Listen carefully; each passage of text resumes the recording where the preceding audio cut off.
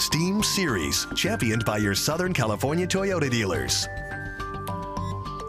All right, folks, it is time for this week's STEAM series, and our focus this morning is engineering and art. And our Pat Harvey is introducing us to a kickboxing aerospace engineer. There's always rooms for improvement. In the ring or behind a screen, Janet Todd is nothing if not fierce. I like to trick people. I look friendly, but I just want to be mean in the ring. Janet is a competitive kickboxer and Muay Thai fighter. That's her hobby.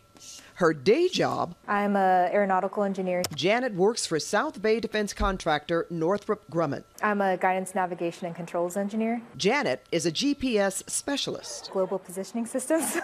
so that's essentially our way of knowing the current state or position of the vehicle. What we do at Northrop Grumman and, and what I get to do is essentially develop these technologies that go onto platforms as an asset to the warfighter to be able to defend our country. Of all the STEAM disciplines, aeronautical engineering relies most on engineering, math, and art.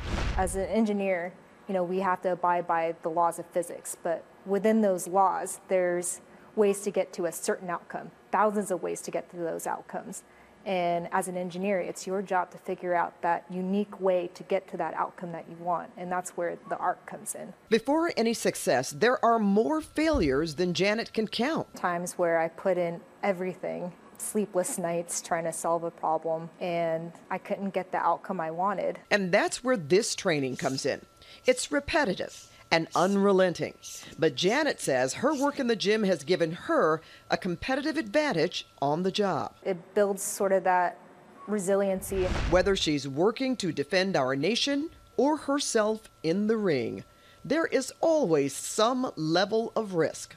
But I'd like to think they're uh, calculated risks because we train hard. I apply that same discipline and determination at work. Janet has found hard play can make work easier. Her advice to the next generation when the going gets tough, you get tougher. The point is to not give up.